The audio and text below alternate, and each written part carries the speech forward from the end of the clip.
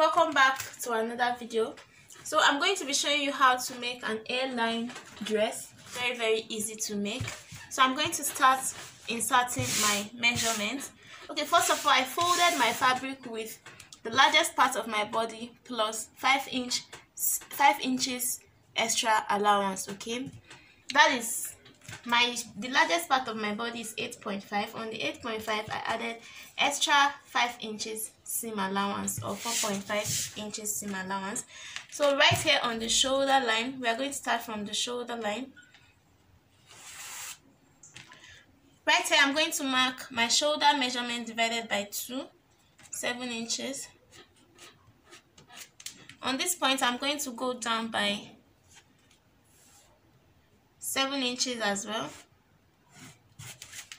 I'll just square this out. On this point I'm going to mark my bust measurement. My bust measurement divided by 4 is 8.5 I'll mark that. I'll add half an inch for ease. And then I'm going to mark 1 inch for seam allowance here I'm going to mark half an inch for shoulder slope. On this point I'm going to mark 3.5 inches for the neck width and 1 inch for the neck depth. This is the back. So I'll cut this shoulder slope and then I'm going to cover the the armhole on the shoulder line i'm going to mark 16 inches downwards which is my waistline. On this point i'm going to mark my waist measurement divided by 4 which is 6.75 I would add 1 inch for ease on this part and 1 inch for seam allowance from this show waistline, I'm marking 8 inches downwards. On this point, I'm going to mark my hip measurement divided by 4, which is 8.5. I would add 1 inch is right here. And then 1 inch seam allowance. I'm going to connect this to the waistline and this to the um, armhole line. And I'm going to mark the full length of this dress. The full length of this dress I want to be 8, 38 inches.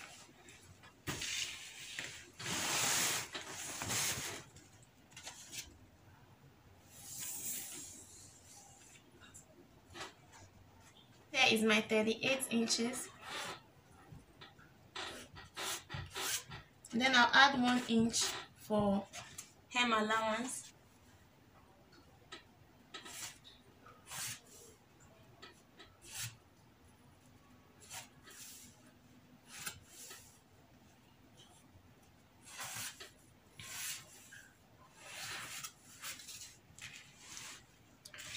So with my ruler i'm going to connect this hip measurement like this to the edge of this point okay?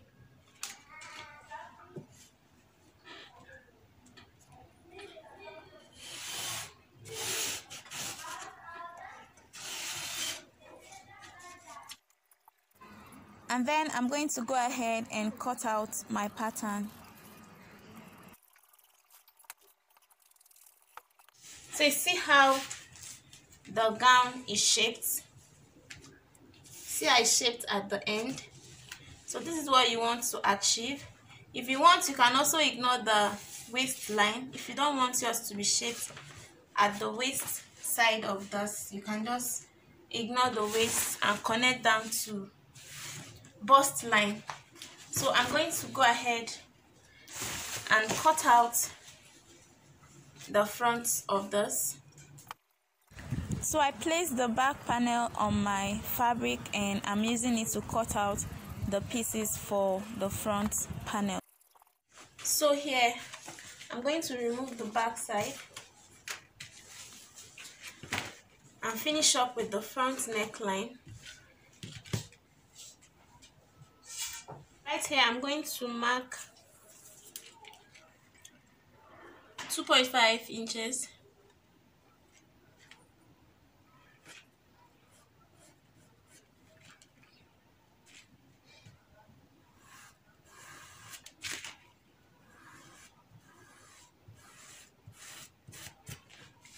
so this is the neck for the front. I'm going to after cutting it this is what I have. So here is the front panel. You can see the front neckline is low is lower than the back. And here is the back neckline. So I'm going to set these two pieces aside and then I'm going to show you how to cut the sleeve for this dress. So we are going to be cutting the sleeve and it's going to be a long sleeve. This is the shoulder line okay? And then I'm going to mark the full length. The full length of my sleeve is 26 inches because it's a long sleeve. So I'm going to mark 22 inches I'm going to use 4 inches for the length of the cuff so this is 22 inches. I would have add half an inch that I'm going to use to connect the cuff and um, the main sleeve. So on this point I'm going to mark my cap's height 3.3 I already told you how to mark this to calculate this. I'm going to mark it again then I would connect all the points together. Okay I made this long sleeve because of this um shirt but because of people that are watching my video for the first time that have not watched this video I am going to actually mark the sleeve again. Okay? Alright so from the shoulder from the shoulder line to my elbow is 14 inches. So I marked 14 inches right here. So here I'm going to mark my my sleeve round 8 inches. And I'm just going to connect this point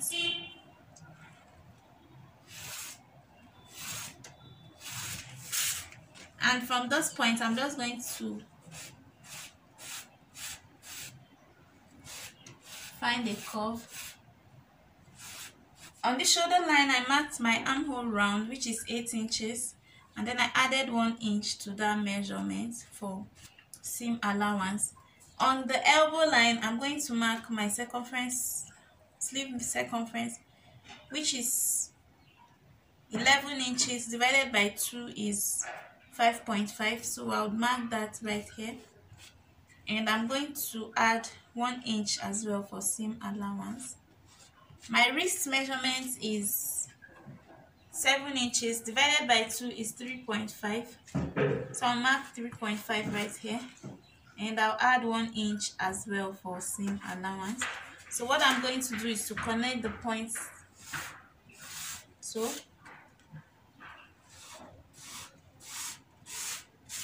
and we can now go ahead and cut out the sleeve.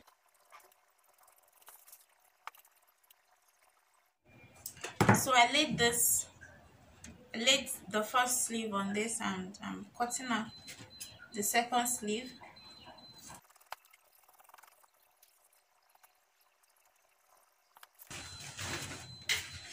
So here are the two sleeves for the